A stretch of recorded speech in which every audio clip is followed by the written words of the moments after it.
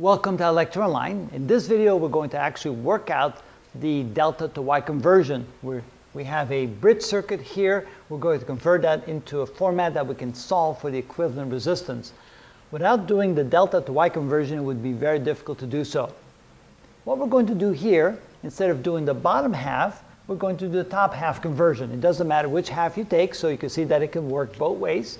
But we're going to take the top delta and convert it into a Y format. So this will then look as follows. You go from each corner, you draw a resistor to the central point like that.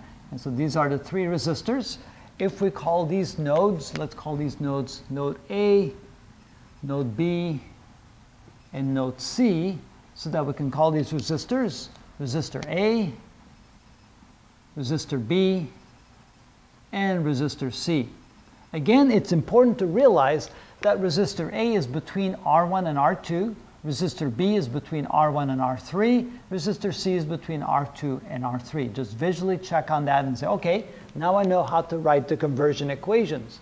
I can now write that R sub A is equal to the product of the two resistors it's in between, that would be R1 and R2 divided by the sum, R1 plus R2 plus R3 mean the sum of all three resistors. So in this case, that would be equal to R1 is 6 ohms, R2 is 10 ohms, and here we have uh, 6 plus 10 plus R3, which is 4. That's equal to 60 divided by 20, which is equal to 3 ohms. So the equivalent resistance for RA, that's 3 ohms.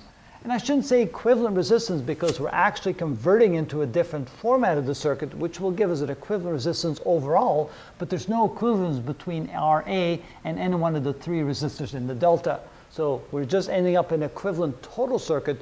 We don't have an equivalence between RA and any of the, the other three resistors.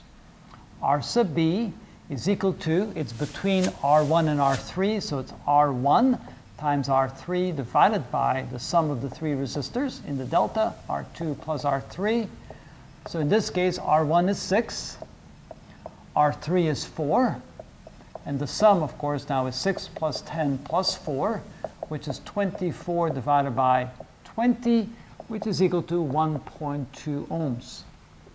And finally, the third resistor, R sub 3, is equal to R sub, R sub C is between R2 and R3, so it's the product of those two vectors, uh, not vectors but resistors, R2 times R3 divided by R1 plus R2 plus R3.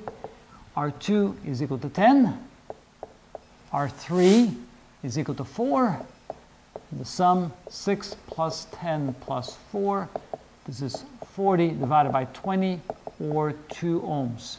So now we have the value of the three resistors in the Y conversion. And let's redraw the circuit. This whole circuit can now be redrawn as follows.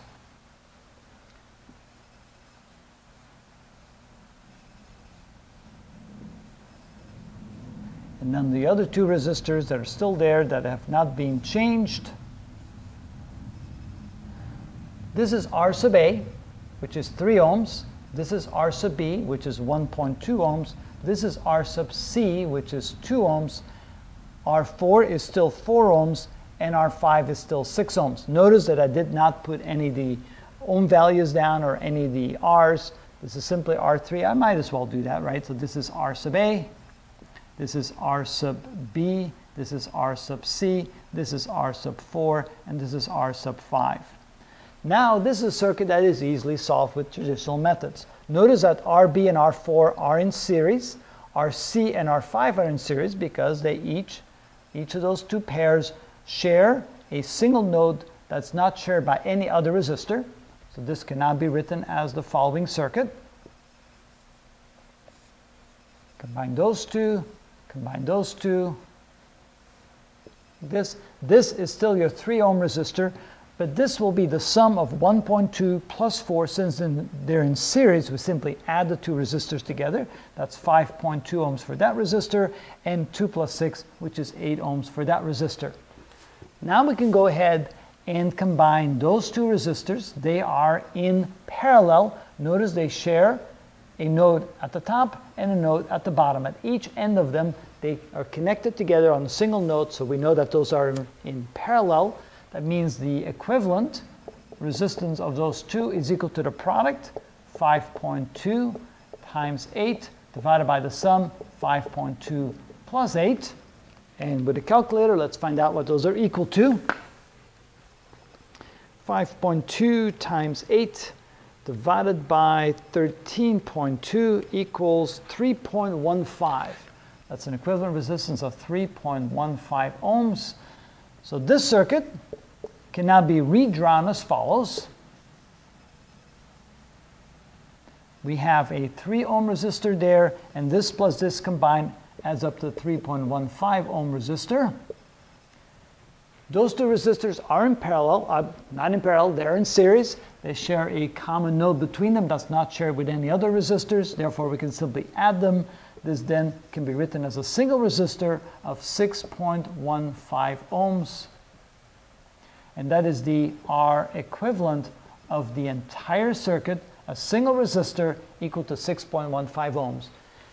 Whatever this circuit is connected to, if this is now connected to a voltage source, whatever the voltage source may be, the current in the entire circuit, I total, will simply be the voltage of that voltage source divided by R equivalent. And that's how we find the circuit through one of those bridge networks using the delta to Y conversion. And that's how it's done.